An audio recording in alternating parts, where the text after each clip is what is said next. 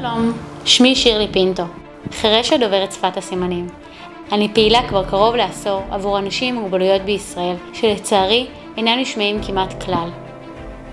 נולדתי בקריות, לאב חירש ולאימא חירשת עיוורת, וחונכתי להאמין שאין דבר שיכול לעצור אותי. הייתי חיילת מצטיינת בחיל האוויר. קיבלתי אות ההצטיינות מנשיא המדינה, וסיימתי תואר במשפטים בתוכנית הצטיינות. אני מובילה פעילויות למען תודעת הנגישות בישראל. מובילה את ארגון אני מסמן אני שווה.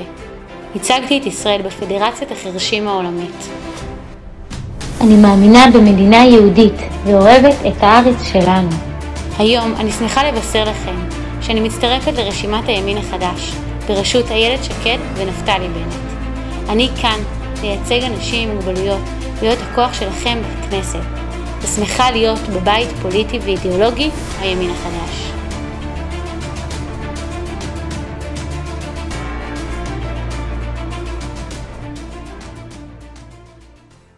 ברוכה הבאה הביתה.